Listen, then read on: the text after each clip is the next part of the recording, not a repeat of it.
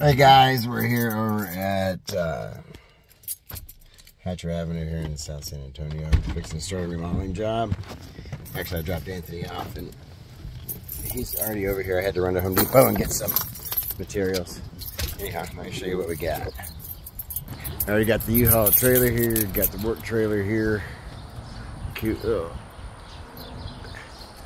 one-story home. We're to remodeling those two bathrooms. Those windows are in each bathroom, and we're taking out the windows, putting in new storm windows, and going from there.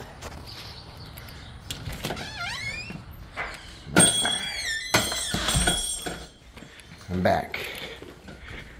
All right, first of all, we're going to be doing this bathroom,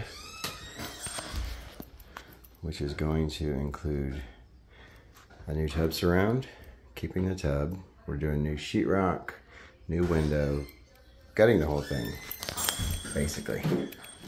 There's a little closet right in here. gotta do this closet, but that's this bathroom's not coming until next week. So we're good to go. Let me take out that block. Let's go see what Anthony's got going on in here. Knock knock. Medicine cabinet out. Sink is already out. Toilet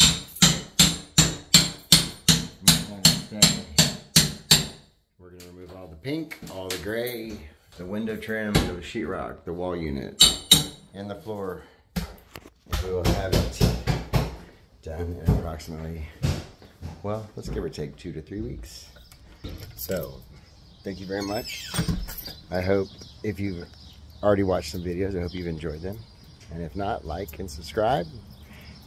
And uh, thank you for watching. It's Todd with Steve Stiefvater Construction Services. Until next time, thanks.